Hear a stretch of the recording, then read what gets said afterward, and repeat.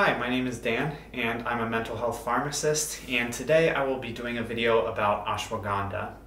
First I will start with some background information, then I will review some scientific studies that looked at ashwagandha for things like anxiety, memory, physical health, and sexual health, health.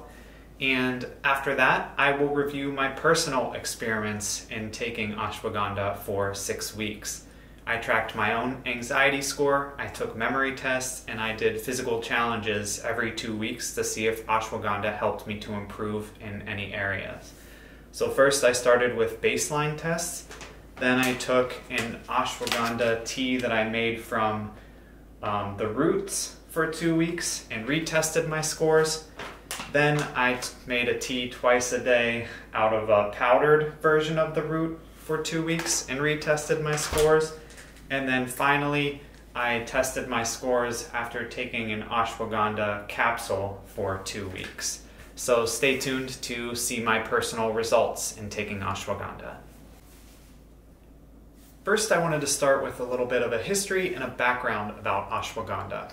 Ashwagandha has been used for thousands of years in traditional Indian medicine practices called Ayurveda. The root is said to smell like a horse, and it's named after the Sanskrit words for horse, ashva, and smell, gandha. Ashwagandha roots were commonly available as a powder that could be mixed with water, ghee, milk, or honey. A paste for external use was sometimes used by crushing the roots with water. The leaves and flowers are also sometimes used in additional treatments. Ashwagandha is an evergreen um, shrub that is native to dry areas, such as areas in India, the Middle East, and even parts of Africa. It is identified as an adaptogen. Adaptogens are theorized to help the body to resist various stressors. Of note, adaptogen is not a scientific term and is not accepted in pharmacological or physiological clinical practice. More studies of adaptogens need to be completed, but whether or not um, ashwagandha is an adaptogen doesn't matter. What matters to see, is to see if it helps with various conditions. As for how ashwagandha helps with its various conditions is not completely known. The mechanism of action is related to several purported properties. The roots and berries are what are used traditionally for medicinal purposes. Several active components have been identified, and this includes alkaloids, steroidal lactones, and saponins. The mechanism of the antioxidant and anti-inflammatory effects is not known. The anxiolytic and anti-stress effects may be related to enhanced serotonergic transmission, GABA mimetic effects, dopamine receptor effects, or corticosterone suppression. Of note, ashwagandha does not contain nicotine, contrary to some reports. Ashwagandha has been used at doses of up to 1,000 milligrams daily for 12 weeks and is considered safe at doses all the way up to 1,250 milligrams for as long as six months. Ashwagandha has many purported uses. It may have benefits in mental health, physical health, and sexual health. I wanted to start by reviewing some studies. First, in regards to mental health, more specific um, in regards to anxiety. First study I wanted to look at was a 60-day randomized double-blind placebo-controlled trial that compared ashwagandha 240 milligrams with placebo. Ashwagandha supplementation had a statistically significant reduction in an anxiety scale called the HAM-A scale. Ashwagandha decreased cortic um, cortisol levels as well, which is a stress hormone, and increased um, testosterone levels in males additionally. Next, an eight-week trial of 60 participants compared twice daily ashwagandha 125 milligrams, um, twice daily ashwagandha 300 milligrams, or twice daily placebo. A significant reduction in anxiety scores was seen in both ashwagandha groups as compared to placebo. Additionally, again, cortisol levels were decreased in the ashwagandha groups. The final anxiety study that I wanted to look at was a study of 64 patients with chronic stress, and this compared a standardized product of ashwagandha 300 milligrams twice daily with placebo twice daily. The ashwagandha used in this study was a root extract called KSM66 from a company called Ixoreal Biomed. The treatment group had significant decreases in stress scores, serum cortisol levels, and no serious adverse effects were reported in either group. The reason I wanted to bring up the standardized product of the KSM66 from uh, Ixoreal Biomed is because this specific extract is used in many of the trials. So this might be a product that you select if you're looking for a specific ashwagandha product. Next, I wanted to review a study that assessed ashwagandha in regards to memory. So this study was conducted on 50 adults aged 35 or older to evaluate the efficacy of ashwagandha in improving memory and cognitive dysfunction in adults with mild cognitive impairment. Treatment included, again, KSM 66 ashwagandha, 300 milligrams twice daily, or placebo for eight weeks. The treatment group demonstrated greater improvements in executive function, sustained attention, and information processing speed. At eight weeks, memory scores were significantly better in the ashwagandha group, as shown by the Wechsler Memory Scale 3 scores. Next, I wanted to look at ashwagandha's effect on physical health. So first, I wanted to review an eight-week randomized double-blind study that was conducted in 57 male patients aged 18 to 50. Participants in this study had little experience in resistance training and were provided with a workout program, one year of a free gym membership, and three months of a professional trainer support. The participants either received KSM 66 ashwagandha 300 milligrams twice daily or placebo. The results were quite interesting. So the bench press the bench press increased by 46 kilograms in the ashwagandha group and 26 kilograms in the placebo group. This increase is very large, quite large. But remember, these participants in this study didn't have much gym experience beforehand. The leg extension increased by 14.5 kilograms in the ashwagandha group and 9.8 kilograms in the placebo group. Arm size increased by 8.6 centimeters squared in the ashwagandha group and by 5.3 centimeters squared in the placebo group. Testosterone increased by 96 nanograms in the ashwagandha group and 18 nanograms in the placebo group. And body fat decreased by 3.5% in the ashwagandha group and 1.5% in the placebo group. So this showed quite large improvements in physical health in the ashwagandha group and in the placebo group as well, but even larger in the ashwagandha group. Another trial looking at physical health um, included 50 male or female athletic adults that assessed KSM 66 ashwagandha 300 milligrams twice daily versus placebo in improving cardiorespiratory endurance.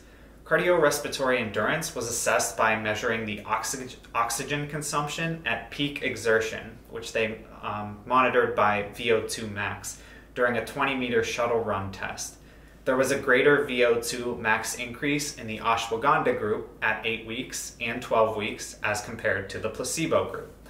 These two studies show that ashwagandha may have some improvements in not just strength, but also in endurance training. Next, I wanted to review two studies that looked at ashwagandha for sexual health. The first study included 46 male patients with low sperm count, and they were divided to either receive KSM 66 ashwagandha 675 milligrams per day in three divided doses or placebo in three divided doses. Parameters were gathered at baseline, 60 days, and 90 days. The ashwagandha group had significant improvements.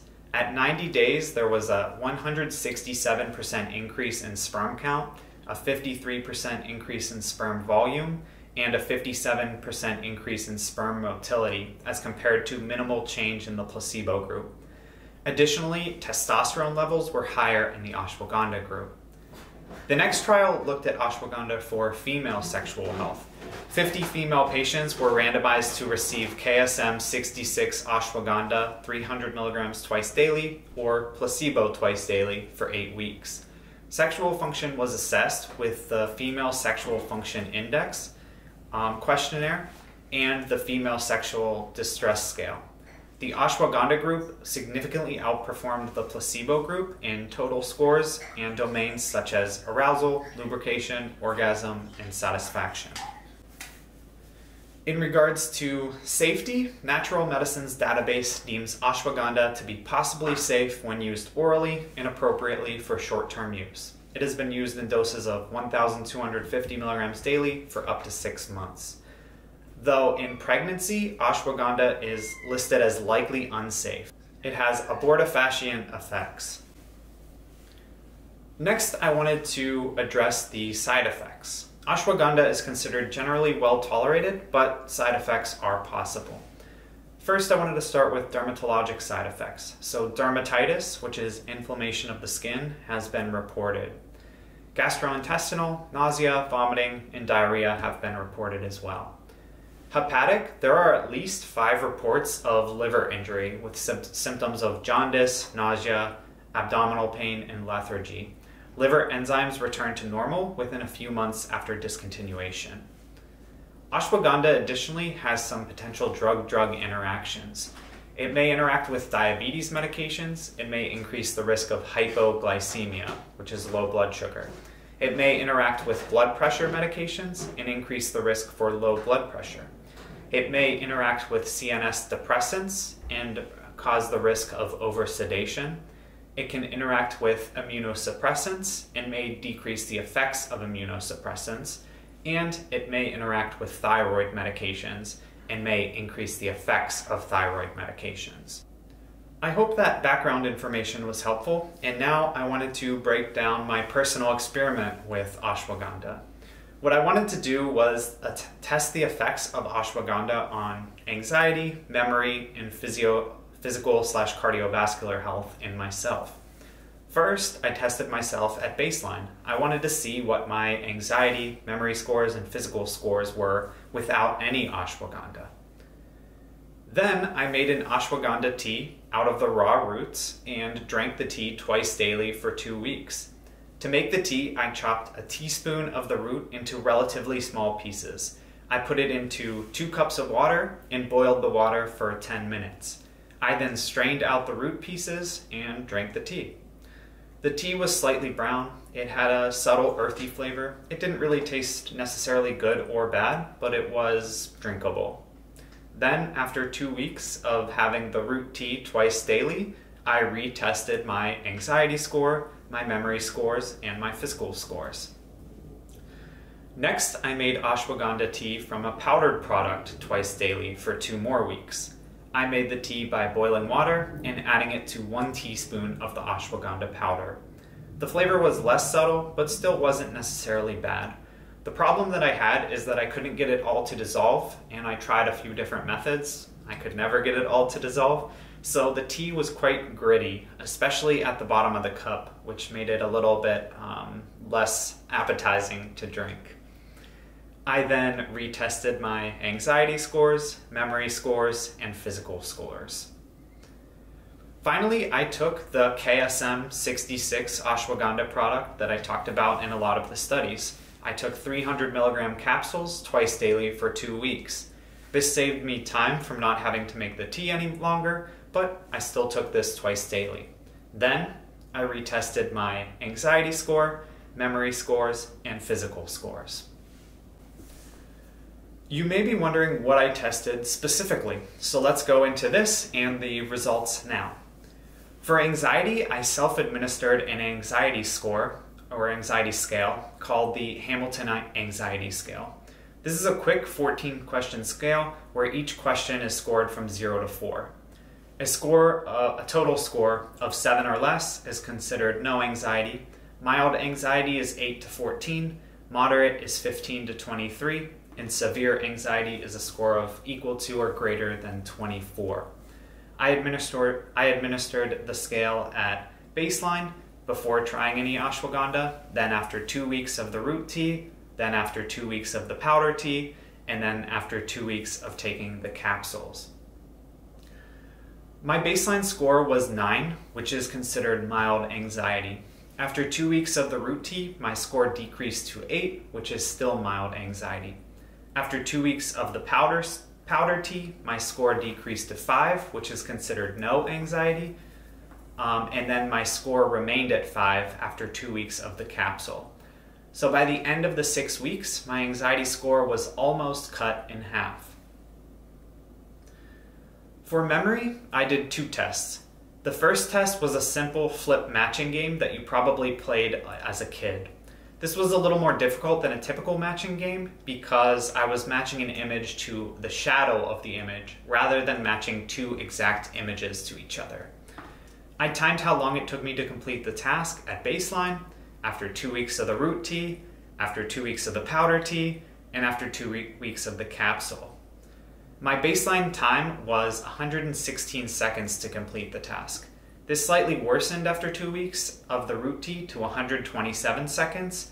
Then it took me 126 seconds to complete the task after two weeks of the powder tea, but then greatly improved to 84 seconds after two weeks of the capsule. This was a 28% improvement from baseline. The second memory test that I did was a face memory game developed by the University of Washington. In the game, 10 components of a face is randomized, such as the eyes, nose, hair, chin, and so on. And then when you click ready, the face disappears completely, and you have to select between three options for each of the 10 facial features. The maximum score is a 10 out of 10. So I started by randomizing the face. I then looked at the face for 10 seconds and then clicked ready to make the face disappear, and then I saw how many I could match completely. I played the game three times at each stage of the experiment. Each time you can get a maximum score of 10, so since I played the game um, three times, the maximum score was 30.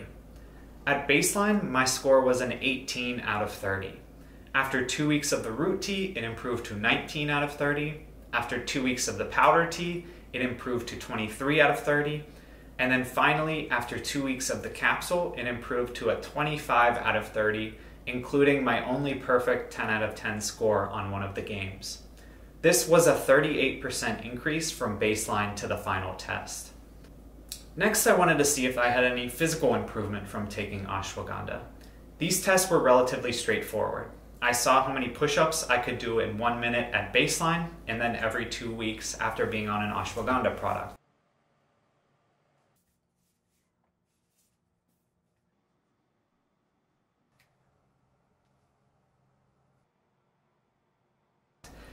I then saw how many front squats I could do while holding 100 pounds at baseline, and then every two weeks while being on an ashwagandha product.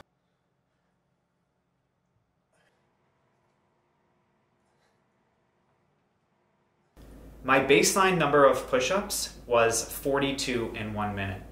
After two weeks of the root tea, it was 44. Then after two weeks of the powder tea, it was 48 and then finally, after two weeks of the capsules, it was 50. This was a 19% improvement from baseline. My baseline number of front squats in a minute was 15. After two weeks of the root tea, it was 16. After two weeks of the powdered tea, it was 18. And then after two weeks of the capsule, it was 20. So this, at the end from the baseline, was a 33% increase. In conclusion, ashwagandha has some evidence to support its use for anxiety, memory, physical performance. I noticed some improvements in some of these areas that I tested, and this may have been related to the ashwagandha, but of note, it is possible that I just got better at the memory and physical tests by practicing them every two weeks. I hope that you found this video helpful, and thank you so much for watching.